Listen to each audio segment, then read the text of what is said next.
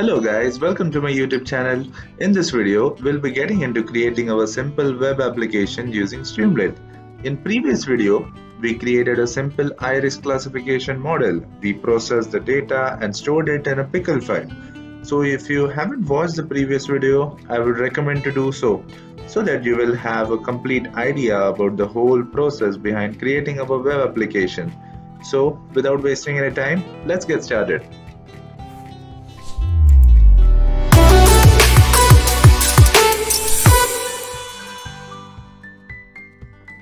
Before coming towards the coding part, I would highly recommend you to create a separate virtual environment.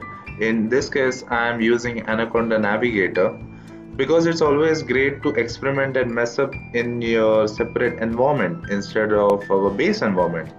If you're using Anaconda, you can jump to your Anaconda Navigator and you can click on create environment you can just go to environments and you can see an option of creating a new environment over here you can create a separate environment in which you can download our dependencies which we'll need for our web application. Coming towards the coding part we will start by importing our libraries. First and most importantly importing streamlit as st Make sure that you have Python version of 3.6 to 3.8 which is supported by Streamlit, whichever available. We'll import pandas as PD and we'll also import pickle. We'll be using pickle for deserializing our pickle file which we had made in our previous video for making new predictions with our model and also we'll import image from PIL which is pillow. Well this Pillow enables image processing in Python while image will return us an image object. We will use image to decorate our web application a little bit. Before importing, please make sure that you have downloaded these libraries in your new virtual environment. You can just download by using pip install and the library name. Now here we'll be deserializing our pickle file which we had made in our previous video. I've just renamed my file as irismodel.pickle and we have kept it read binary and we'll save this in our variable called model. Now from this I'll be demonstrating by keeping my created web application aside. Now as you can see these lines of codes are focused on UI part of our Streamlit application. You can see we have added a header iris classification and here we'll be opening our image now in our case I have used this particular image. You can choose any image of your choice. Just make sure that you're keeping the format right. If it's JPEG please mention JPEG over here or else it will pop up an error. We will write the command st.image which will pop up our image on the application. And also we'll give the format as png over here. And we'll also write st.write please insert values to get iris classified iris class predictions. Now these all lines of code will be appeared over here.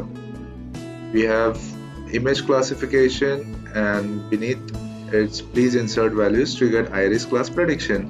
You can change or you can customize by your choice. Now if you recall our data set, it consisted of four independent variables called sepal length, sepal width, petal length and petal width. So we need this data to make further predictions. So how can we take these values from the user? Now in the following steps, we'll be taking the inputs from the user and store them in our respective variables. Streamlit here offers an amazing interactive slider option from which we can take the inputs. We take inputs such as sepal length, sepal width, petal length and petal width by providing them a slider option by passing the command st that is streamlit.slider and then we mention the limiting values of our slider such as the starting point of our slider and the ending values of our slider. We can also keep this such as blank text box in which the user can type manually but the slider seems better as far as presentation can be concerned for taking inputs. Now let's see how can these sliders look in our actual web application this is our sliders. We have separate four sliders for sepal length sepal width petal length and petal width.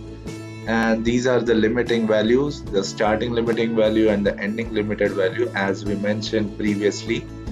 Now when users comes to our web application if he wants to add some values you can just scroll any of these values through the slider.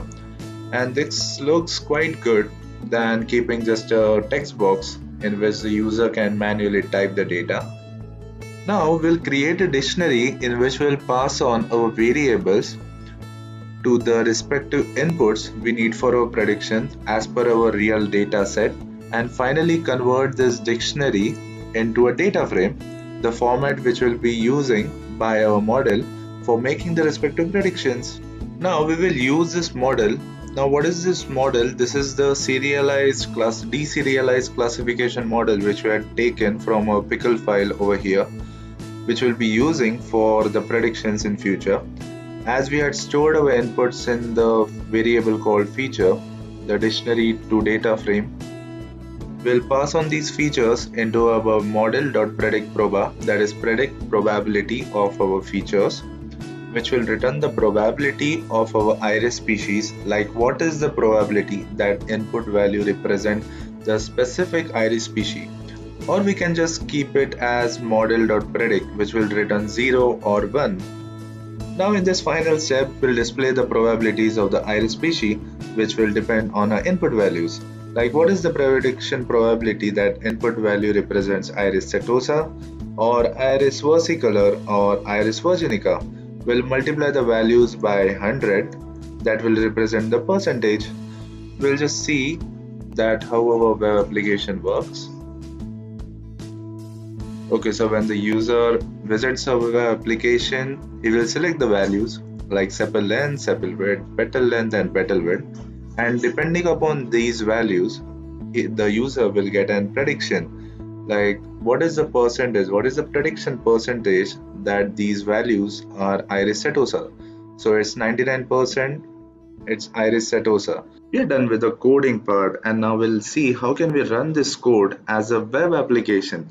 So if you're using anaconda i'm using Spyder over here. When you click into the anaconda prompt first of all you will be directed to your base environment. So if you have created your new virtual environment you need to activate that virtual environment first.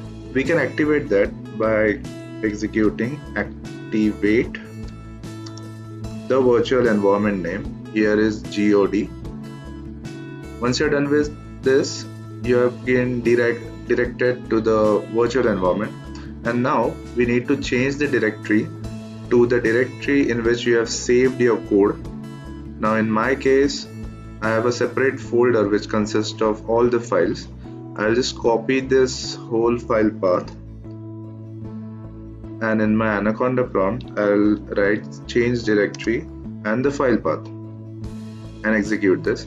Once we are done with this, Streamlit has a separate syntax for running the web applications. You need to type Streamlit run and the application name. In my case, it's app1.py. So you need to type app1.py. So it will be Streamlit run and the name of the file in which you have written the code and we'll execute this. Once you are done executing the syntax streamlit run app1.py, you will be automatically redirected to your Streamlit web application as well as you will get a link where your web application has been created you can copy uh, copy paste this link into any of your browser which will pop up your web application.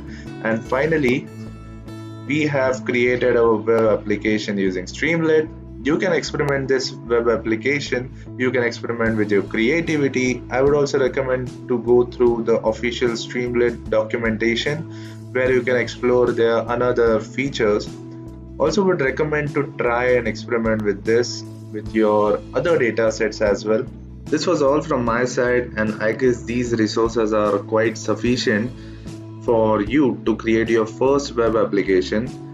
I have also written a blog in which I have given a detailed explanation about the same process which we discussed in our video.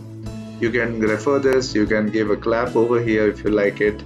If you genuinely like this video as well as the whole playlist, Please do give a like, subscribe my channel as well as give your genuine views regarding the playlist. You don't need to worry anything about the code. I'll be sharing the GitHub link below in the description. Also, I'll be attaching the link for my blog as well. Thank you so much for watching. Take care and bye bye.